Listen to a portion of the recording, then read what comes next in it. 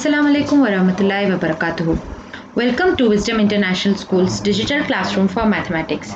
So children, now we have learned uh, polynomials chapter. We have finished it. I hope you people have completed your uh, notes, all the exercises uh, given in your uh, uh, in the chapter polynomials, right? So now we will start the next chapter, linear equations in two variables. Okay. So this is chapter 10 in your PDF alright so first we will see what linear equation in one variable means okay? So you would have uh, learned this in your uh, um, 8th standard like what is linear equation in one variable right? So this is an example of linear equation in one variable right? 2x plus 5 equals to 11 isn't it? So now how, if I ask you to solve this what do you do? So you just you know move the 5 to the other side like this and then and how do you move it? You just move it by subtracting isn't it? Because this is plus 5 so when it comes this side it becomes minus 5 so then you get 2x is equals to 6 and x is equals to 6 by 2 which is x equals to 3 so this is just a you know brush up. We have already done this. We have learned this in 8th standard right? Now we will learn um, you know more about it. So now um, let's uh, look at uh, linear equation in two variables okay? So obviously when I say two variables there are going to be two alphabets over there right? Two unknown things over there. So like in this form so you may have ax plus by equals to c or you know the format which we are going to learn over here is this way okay? See ax plus by plus c equals to 0 where a could be some number b could be some number c could be some number okay? And prefer and it's a, a compulsion that you know x and y i mean a and y, b should not be equal to 0 see if they both are equal to 0 then the whole expression turns out to be 0 right? See if a is 0 then you don't have an x term at all. A times a into x is going to give you 0 because a is 0 then you will have you know it will not be a, a linear equation in two variable. You will have only one variable which is y isn't it? Or if uh, b is 0 then you know the y term goes off and you will have a linear equation in one variable with a x right? I mean x right? Isn't it? So you should not have you know a and b should not be equal to 0 alright so we'll see an example. See if I give you 3x minus 4y plus 2 equals to 0 and if I ask you to write a b c you will write a as 3 so b will be negative 4 okay? You are supposed to write it with the sign. So b is negative 4 and c is 2 okay? You don't have to write plus 2 2 is enough okay? Now if I give you y equals to 5 then I can actually write this as 0x because x is not there right 0x and y is having a, no there's no sign in front of y. So I put a plus okay? So because if there is no sign it means that there is a plus. So plus y uh, and you know you have a minus 5 the 5 I have got it this side okay? Because I need to write it in ax plus by plus c equals 0 okay so i have to write everything equal equated to 0 so if i want to do that i'll have to bring the 5 this side so it becomes minus 5 and that's is equated to 0 again okay? So now in this case a is 0 b is you know the number attached to the y is nothing so you will write b is 1 okay? And c is minus 5 all right? So that's your term. Now if you have 2x is equals to 3 and if i want to write a b c so you have 2 as the a and there is no y term so b is 0 and c you have to bring it this side so it's going to be a negative 3 or minus 3 okay?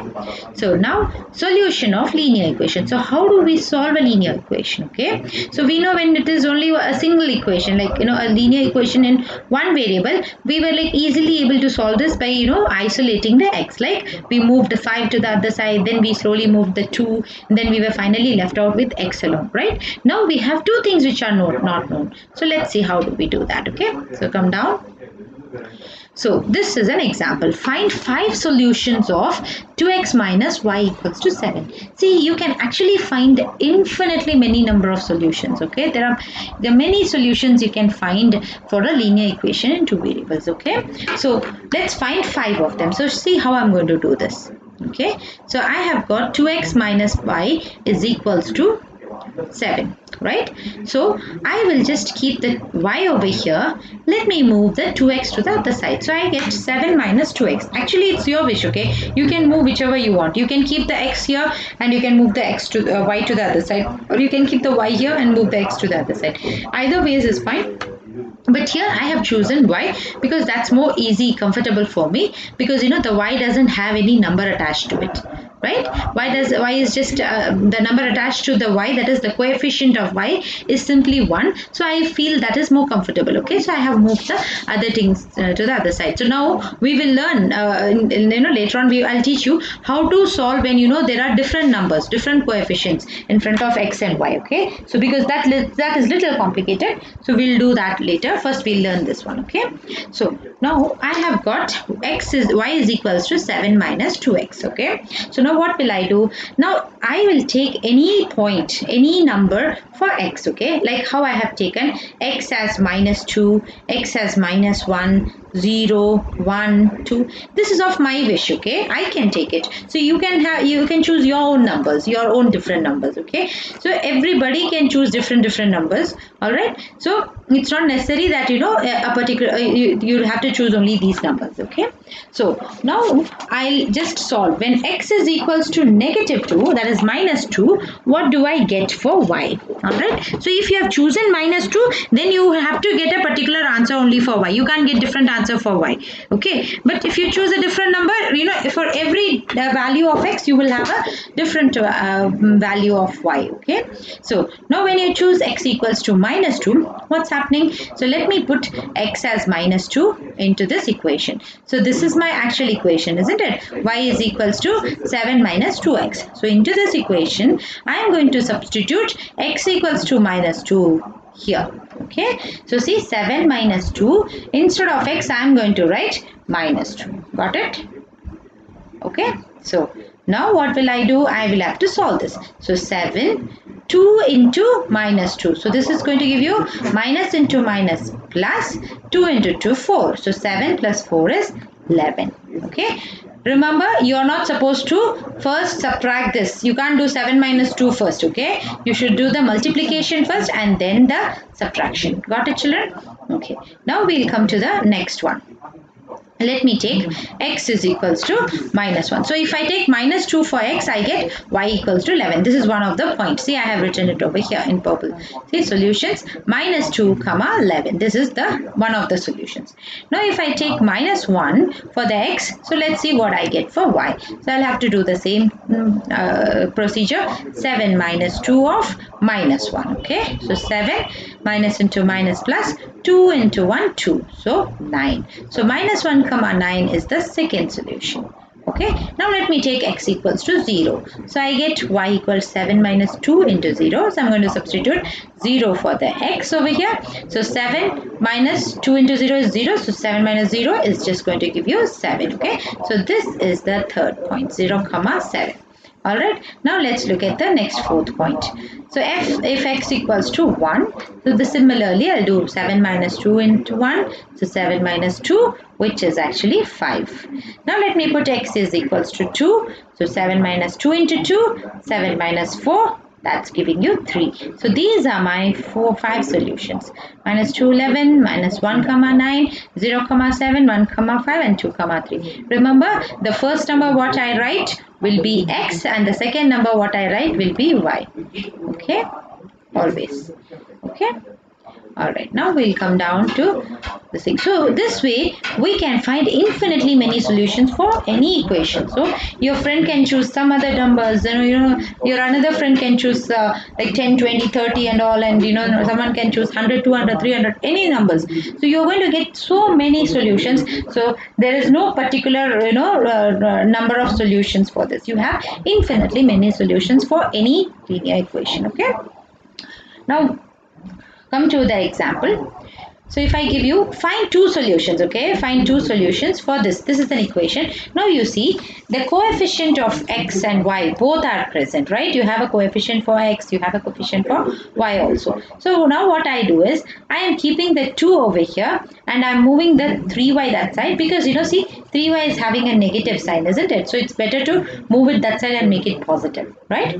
So I have just chosen to uh, move the 3y that side. Now you see, I get x is equals to, so now I'll have to divide the 2, isn't it? So I'll have 10 plus 3y over 2. So now this becomes my expression. Now I'll have to choose the number. So let me choose 0 for example. So if I choose y, so now I am going to choose y as 0, right? So I will just write y as 0 over here. Okay. So if I choose y as 0, what do I get? x is equals to 10 plus 3 into 0 over 2, which gives you 10 by 2, which gives you 5. Okay. So 5 comma 0 is one of my solution. So let me write here 5 comma 0 okay? The second solution see if I take 1 see what happens if I take 1 okay? I will be getting 10 plus 3 into 1 which will give you 13 by 2 right? So that's giving me a decimal answer. So avoid doing this okay? This is also a solution but avoid doing this. So you should have when you are choosing a number for your y you should you know choose in such a way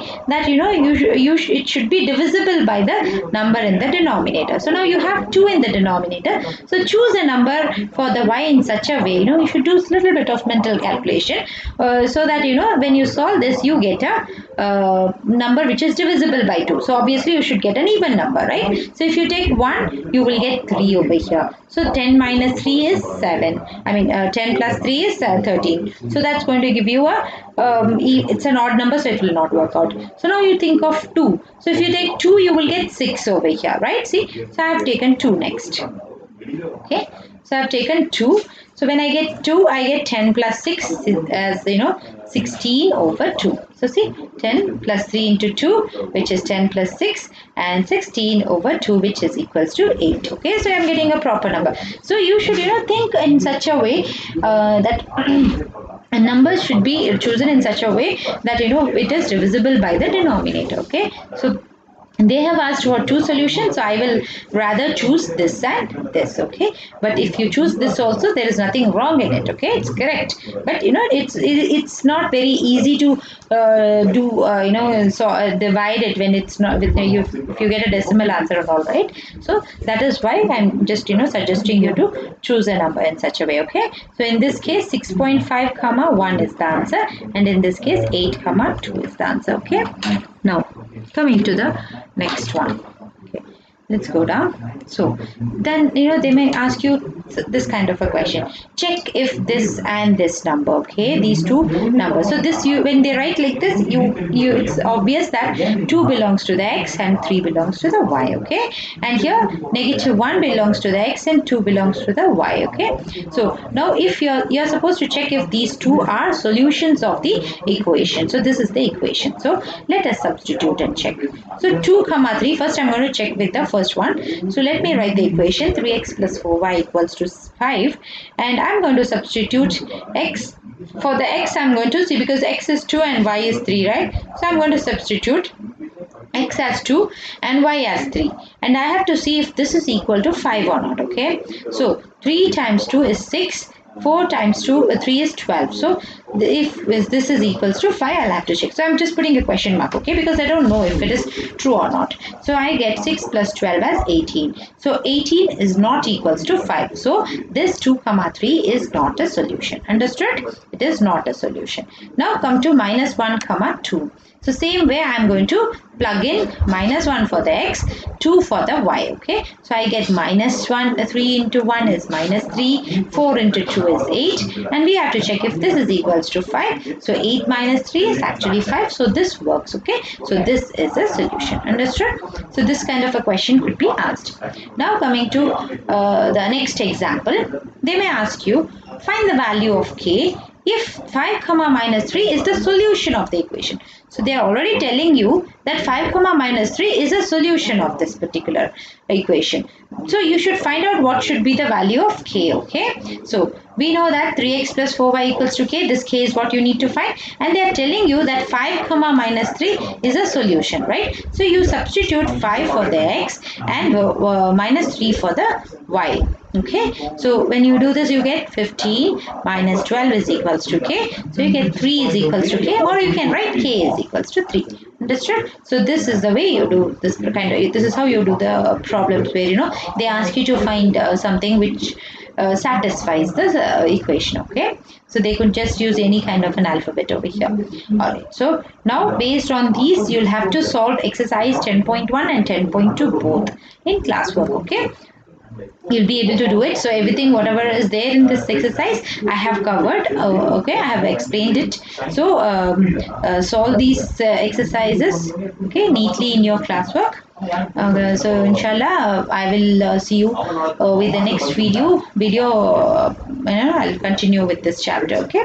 All right allah hafiz